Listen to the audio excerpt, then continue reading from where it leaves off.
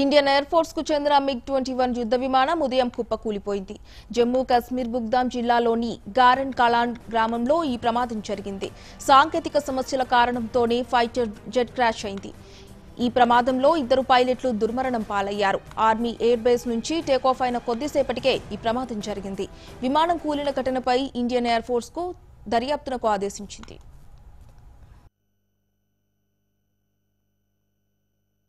ये जेट जहाज़ है सर। हाँ। हाँ सर। क्या हो कैसे क्या कितने बजे? अभी लगभग 10-20 मिनट हुआ था सर। हेलीकॉप्टर था या जेट फ़्लाइट था? Jet flight sir. कंफर्म था? हाँ सर। कोई इसमें कोई आग वगैरह लगी थी? हाँ बोलिए। हाँ सर। हाँ सर आग लगी बहुत आग। बहुत आग लगी सर। हाँ हाँ हाँ। हाँ सर। गैरन बड़गाम सर। बड़गाम हाँ सर। कंफर्म में जेट है ये? हाँ सर। हाँ सर। इसमें इसमें तीन आदमी सर।